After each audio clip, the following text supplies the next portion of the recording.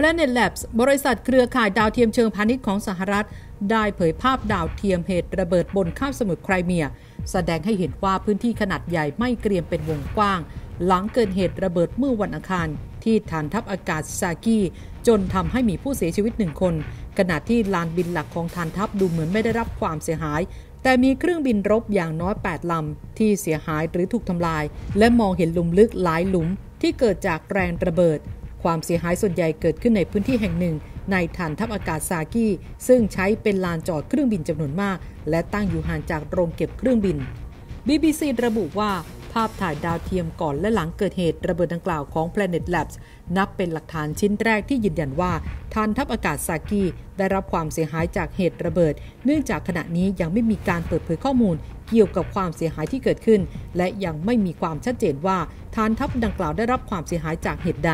ขณะที่รัสเซียยืนยันว่าเหตุระเบิดดังกล่าว เกิดขึ้นจากการระเบิดของกระสุนในคลัง เนื่องจากมีการฝ่าฝืนข้อกำหนดด้านความปลอดภัยจากอัคคีภัย ส่วนยูเครนยังไม่ได้ระบุว่าเป็นผู้ก่อเหตุดังกล่าว แต่กระทรวงกลาโหมของยูเครนชี้ว่า ทหารรัสเซียที่ขาดความระมัดระวังเป็นต้นเหตุให้เกิดระเบิดขึ้น ขณะที่เพจการทูตและการทหาร ได้วิเคราะห์ถึงประเด็นนี้อย่างน่าสนใจว่า ภาพถ่ายดาวเทียมฐานทัพอากาศซากีของรัสเซียในไครเมีย หลังเกิดเหตุระเบิดจะเห็นว่า ความเสียหายหลักๆ จะอยู่ที่บริเวณที่จอดเครื่องบินรบ ซึ่งเบื้องต้นนับจำนวนเครื่องบินรบรัสเซียที่ถูกทำลาย ประกอบด้วยเครื่องบินขับไล่ซู30 SM และเครื่องบินโจมตีตระกูลซู 24M ได้ประมาณ 9 ลำ บวกลบนิดหน่อย เท่ากับที่กองทัพอากาศยูเครนรายงาน สังเกตว่าถ้าเอาไปเทียบกับภาพถ่ายดาวเทียมก่อนเกิดเหตุระเบิด จะเห็นว่ามีเครื่องบินรบรัสเซียหายไปบางส่วน เป็นไปได้ว่ากำลังออกไปปฏิบัติการระหว่างเกิดเหตุ จึงไม่สามารถเอาจำนวนเครื่องบินรบรัสเซียในภาพถ่ายดาวเทียม ก่อนเกิดเหตุทั้งหมดมานับเป็นความสูญเสียได้ นอกจากนี้โครงสร้างพื้นฐานของฐานทัพอากาศแห่งนี้ ส่วนใหญ่รวมถึงรันเวย์ไม่ได้รับความเสียหายมากนัก สามารถใช้ปฏิบัติการต่อได้ ฝูงบินนี้จึงไม่ถึงกับหมดสภาพการรบแบบที่บางคนอ้าง แต่เมื่อสูญเสียเครื่องบินรบไปเกือบครึ่ง ปกติฝูงบินนี้มีเครื่องบินรบประมาณ 24 ลำ เป็นซู 30 SM และตระกูลซู 24M อย่างละประมาณ 12 ลำ ก็คงทำให้ขีดความสามารถการรบลดลงไปมากทีเดียว แต่เมื่อโครงสร้างพื้นฐานของฐานทัพอากาศไม่ได้ถูกทำลาย รัสเซียก็สามารถย้ายเครื่องบินรบจากที่อื่นมาเสริมได้ นอกจากนี้ในไครเมียยังมีฐานทัพอากาศให้ใช้ได้อีกหลายแห่ง ต่อมายังโพสต์อีกว่า ให้ลองดูจุดที่วงสีแดงไว้ในภาพถ่ายดาวเทียมฐานทัพอากาศซากีของรัสเซียในไครเมีย ก่อนและหลังเกิดเหตุระเบิด สังเกตว่ามีอย่างน้อย 2 จุดที่เป็นที่ตั้งของอาคารบางอย่าง รัสเซียอ้างว่าเหตุระเบิดเกิดจากคลังแสงระเบิด เพราะการละเมิดมาตรการรักษาความปลอดภัย แต่เมื่อคลังแสงหลักของฐานทัพอากาศแห่งนี้ไม่ได้รับความเสียหายอะไร ไม่อย่างนั้นฐานทัพอากาศก็คงเกิดความเสียหายมากกว่านี้ หลายคนเลยมองว่ารัสเซียโกหกแล้วไปปั่นข่าวว่าเป็นฝีมืออาวุธเทพของยูเครน ทั้งที่ยูเครนก็ปฏิเสธว่าไม่มีส่วนเกี่ยวข้อง แต่คลังแสงที่รัสเซียอ้าง จะไม่ใช่คลังแสงหลักของฐานทัพอากาศนี้ก็ได้ แต่ก็อาจจะเป็นคลังเก็บระเบิดและจรวดที่เตรียมไว้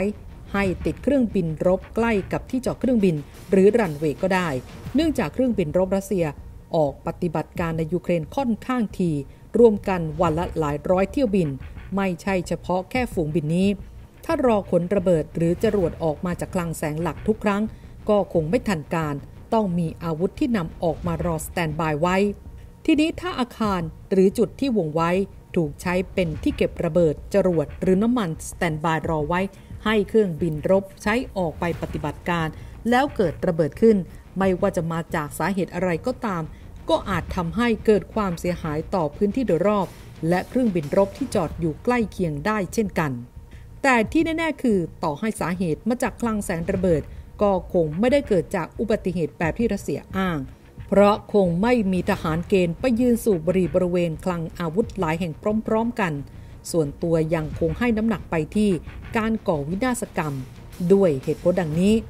1. ที่ตั้งฐานทัพอากาศแห่งนี้อยู่ห่างจากแนวหน้ามากกว่า 200 กิโลเมตร ไกลกว่าระยะยิงลูกยาวส่วนใหญ่ของยูเครน และยูเครนก็ปฏิเสธไม่มีส่วนเกี่ยวข้อง 2. โครงสร้างพื้นฐานส่วนใหญ่ของฐานทัพอากาศ รวมถึงตัวคลังแสงคคลังน้ำมันหลักและรันเวย์ไม่ได้รับความเสียหายเลย ทั้งที่เป็นเป้าหมายสำคัญ ตั้งอยู่กับที่ย้ายไปไหนไม่ได้ ต่างจากเครื่องบินรบที่มีการเข้าออกฐานทัพอากาศตลอดเวลาเพื่อออกปฏิบัติการ 3. ฐานทัพอากาศแห่งนี้อยู่ไม่ไกลจากย่านที่อยู่อาศัยของประชาชนและแหล่งท่องเที่ยว ผู้ก่อเหตุวินาศกรรมสามารถแทรกซึมเข้าไปใกล้กับฐานทัพอากาศ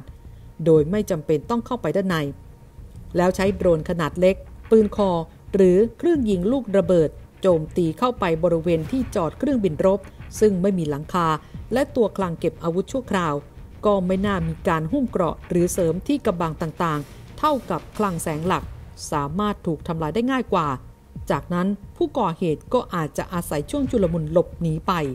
ทั้งนี้ไม่ได้หมายความว่าตัดความเป็นไปได้เรื่องการโจมตีทางอากาศออกไป เพียงแต่ยังให้น้ำหนักไปที่การก่อวินาศกรรมมากกว่า ส่วนเรื่องทหารเกณฑ์ไปยืนสูบบุหรี่ที่คลังอาวุธแล้วเกิดระเบิดขึ้น อันนั้นโยนทิ้งไปเลย